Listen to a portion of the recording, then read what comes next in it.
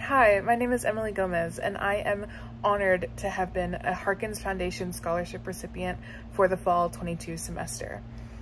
With this scholarship, I was able to buy textbooks and other supplies that I needed for my theater and general education college courses.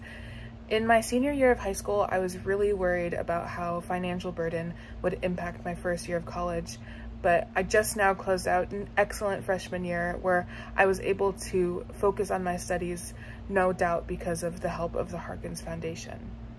If you would like to help other students like me, you can do so by purchasing a raffle ticket for the 2023 Harkins Foundation Scholarship Raffle.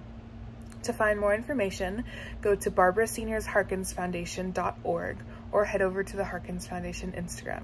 Thank you.